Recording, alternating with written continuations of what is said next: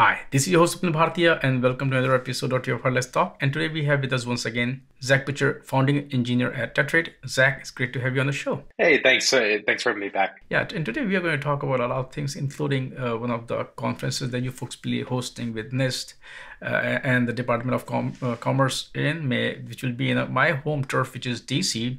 Uh, before we talk about the conference and all those things, I want to talk a bit about Zero Trust because, first of all, we have been talking about security, the whole cultural shift. We have been talking about Zero Trust network, Zero Trust architecture but these terms evolve as the industry also evolves. So, talk a bit about when we talk about zero trust today, what does it mean? In fact, actually, and, coinciding with this event, we actually just published uh, NIST SP 800 207A.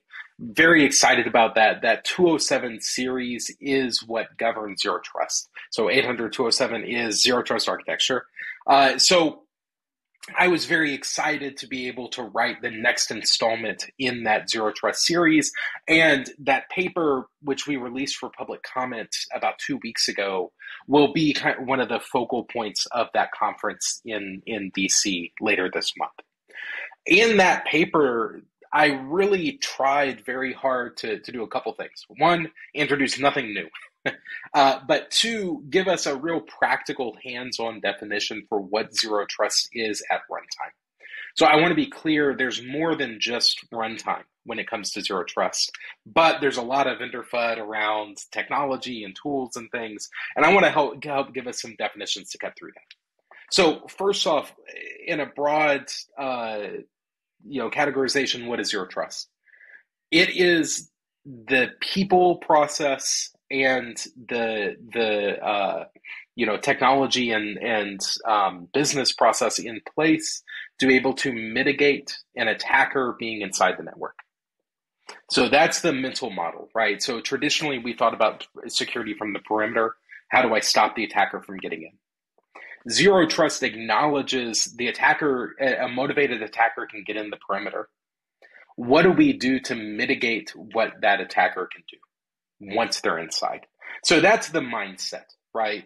They're inside, the perimeter is not sufficient, so I need to take steps at every hop, at every at every service, at every instance to make sure that that attacker is limited in the data that they can egress, in the systems that they could try to compromise, and the other systems that they could pivot to. We want to bound an attack in space and in time. So philosophically, that's what we want to do. At runtime, how do we do this? In 207A, the, the new paper, we introduce what we call identity based segmentation. And that is five policy checks at runtime that we want to have happen on every single hop. So we don't want to apply these just at the front door, you know, maybe at our API gateway, but we want to do this for every single hop in our infrastructure. And those five things are encryption in transit, service identity and service authentication, service authorization. So we want, and, and why do we want these? And, and I'll, well, let me do the other two. End user authentication and end user authorization. So those are the five policy checks. So why do we, why do we need or want those? Encryption in transit is really for two properties. One, we want eavesdropping protection. We don't want other people who, you know, maybe are looking at the bits on the wire to be able to see what we're sending because the data is sensitive. And two, we want uh, we want message authenticity.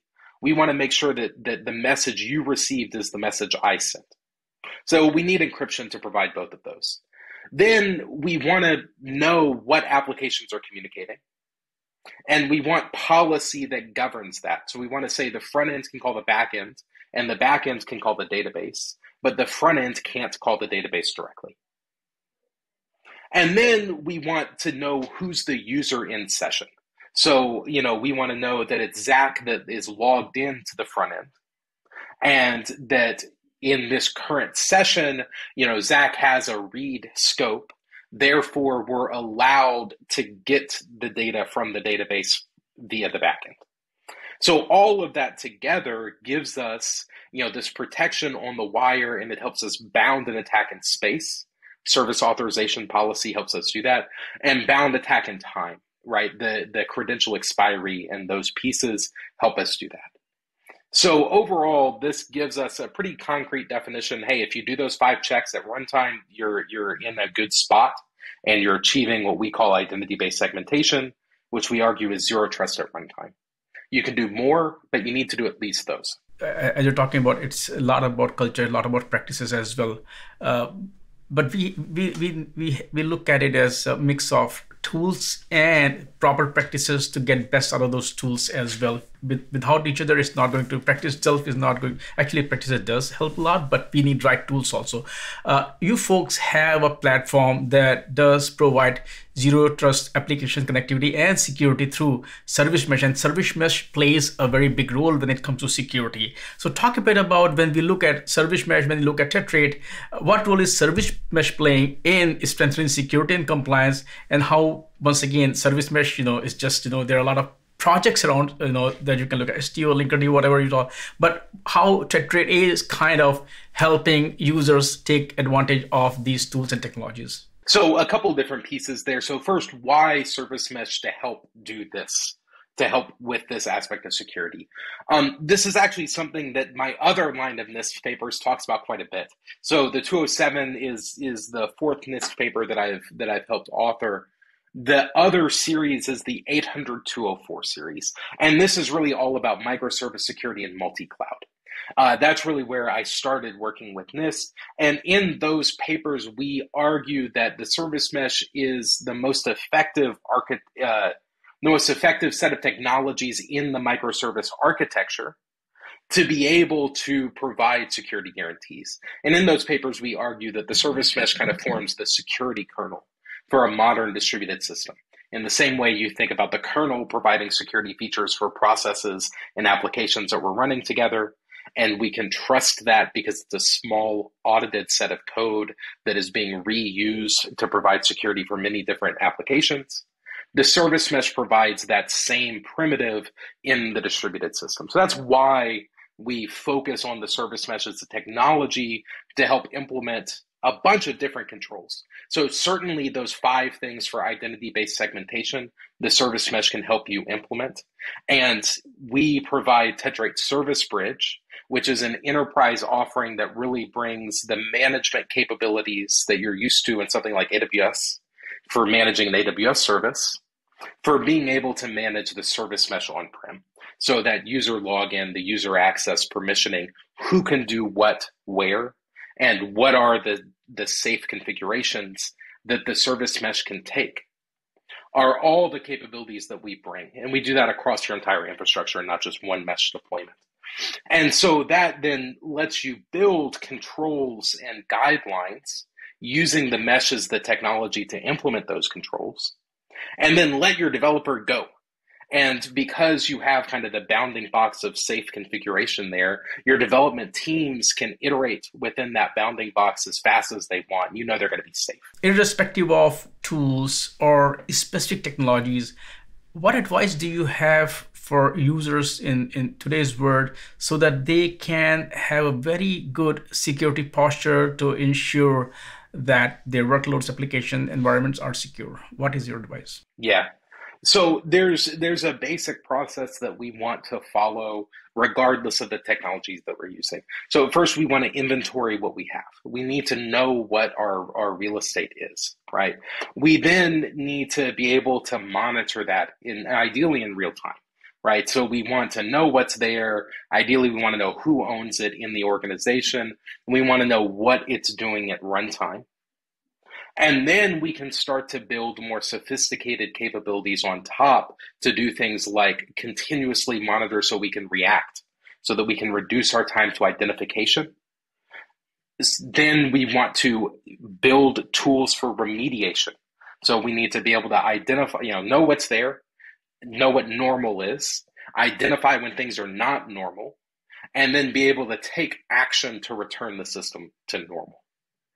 And so that's the, the core set of capabilities that we need to develop, regardless of the technology that you use to achieve those capabilities. And, you know, that gives us then a blueprint for where do we start.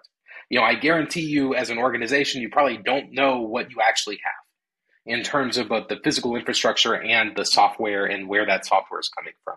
So that's the place to start from a security perspective as an organization that, that's that's trying to mitigate, minimize risk. Inventory what we have, figure out what's there, and then we can build a plan of attack from that. Otherwise, you're taking stabs in the dark. How much of this you are seeing organizations are actually doing in practice, or you feel that they are still behind. We need a lot of education so that or you're like no they're all moving in the right direction. They're they're all doing the right things. Yeah i wish uh, you know in general i think as an industry we're trending in the in the right way. Uh, but you know equally we're also building more complex applications in more complex environments. So the, the challenge gets harder uh, as well. Um, really what I see is in, in I view one of the other big purposes of the NIST papers is really to help educate. And it's both to help educate, you know, security decision makers, but it's equally to help educate the auditors and regulators that are evaluating systems. And so a lot of what we talk about in 207A, and, and there's kind of three big ideas. I talked about identity based segmentation. We additionally talk about how we want to layer new identity based policies on top of existing network policies, not replace them. And, and in doing so, we can relax the network policies and get some agility, for example. So, you know, our purpose in these papers is not to break new ground, but it's to talk about how we can do the right thing that we've been doing in the modern context and in that way educate and move the ball. So my goal, you know, what we see is that there are a lot of folks that are doing this. There are a lot of folks that are starting to overlay identity-based policy on top of their traditional network-based policy. You know, we even help customers that do this gain agility while they do it because we can relax network oriented controls in favor of identity. The canonical example I give is the firewall rules between on-prem and cloud right? And in a bunch of folks that we work with, you know, that's a six week process. I file a ticket to get the firewall rules updated and I get the subnets and, and all that. And, you know, the firewall team goes to the spreadsheet that's the source of truth and maps the CIDRs back to services, back to teams to figure out, do I allow this or not? One of the patterns that we talk about in 207A and that we implement is putting identity aware proxies on either side of the firewall. So that way we have one firewall rule that says, hey, the identity aware proxies can communicate. And then we can use identity based policy to decide who can go over that connection. And that's an example case study that we talk about in 207A in that paper.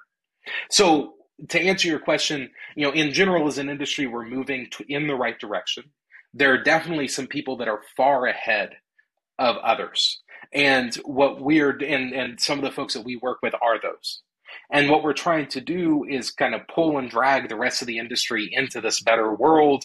And using things like these SPs helps give the weight to make that okay from the perspective of, of auditors and regulators. Let's talk about the conference that you folks are co-hosting with NIST and Department of Commerce in a couple of weeks, and once again in my you know, home turf, DC.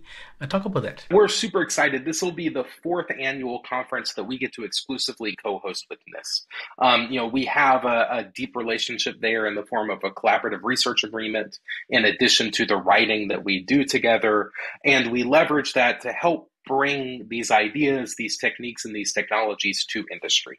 And so that's the whole point of this conference, which will be in person in downtown DC on uh, the 25th of this month. And there will be some workshops on the 24th.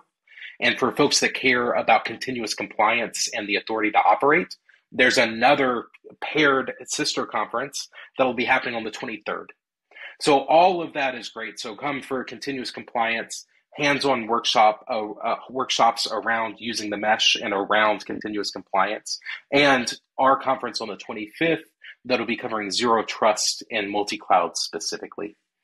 We the goal here is is really for both decision makers and practitioners to be able to come and learn about what some of the other large organizations in both the public and private sector are doing, how they're approaching zero trust, uh, some of the cultural change, some of the technology change, some of the tools and technologies for achieving it. Um, so, you know, we would love to have folks attend if you're in the area. It's also going to be streamed online, uh, and I believe it'll be available for free. Certainly, everything will be recorded and will be available after the fact as well. And all the previous year's conferences are available too. So if you want an idea what what it's going to be like, if you just search, you know, on your on your preferred browser, uh, go search for NIST Zero Trust Conference. You'll see multiple years worth from 2019 till till this year's with all the program there that you can go kind of see and get a flavor for what the conference is like. Zack, thank you so much for taking time out today and uh, discuss this topic, uh, of course, standard and the upcoming conference. Uh, as usual, I would love to have you back on the show. Thank you. Thank you for having me. I appreciate it. And, and again, yeah, look forward to seeing folks at the conference at the end of this month, May 25th. Thanks, everybody.